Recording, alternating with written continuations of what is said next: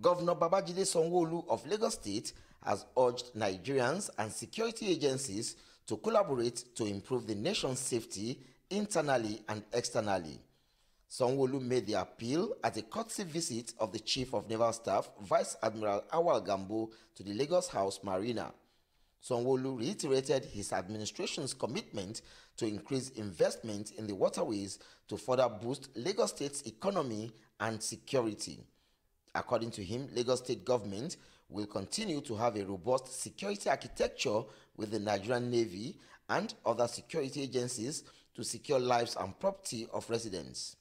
Speaking on his administration's commitment to water transportation, the governor said his government is currently increasing the number of jetties and ferry terminals.